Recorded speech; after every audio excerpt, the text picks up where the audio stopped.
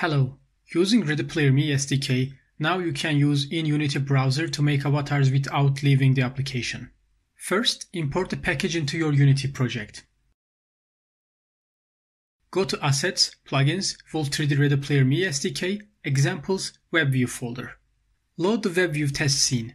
You will find a game object with WebView test component attached to it.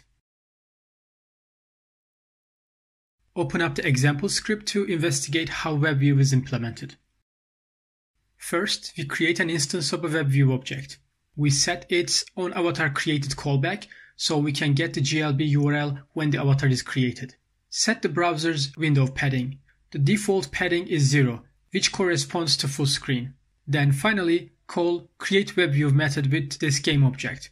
Once the avatar is created, the browser will shut down and onAvatar created callback will be called. In the callback method, we create an avatar loader instance and use the given GLB URL to load the model. Let's build the scene and test it on an Android device. Once the app starts, you will be greeted with a Ready Player Me website window. This is our web view. Select avatar type, select body type. Once the camera screen shows up, you will be asked camera and file permissions to use the camera and the gallery to create an avatar. Take a selfie. If you are fine with the selfie you took, click on accept. Once it's done, customize your avatar and when you are fine with it, click on done button. Once the avatar is created, the web view will be closed and now it will load the avatar. I hope you find it useful. You can read more about the Ready Player Me SDK at docs.readyplayer.me.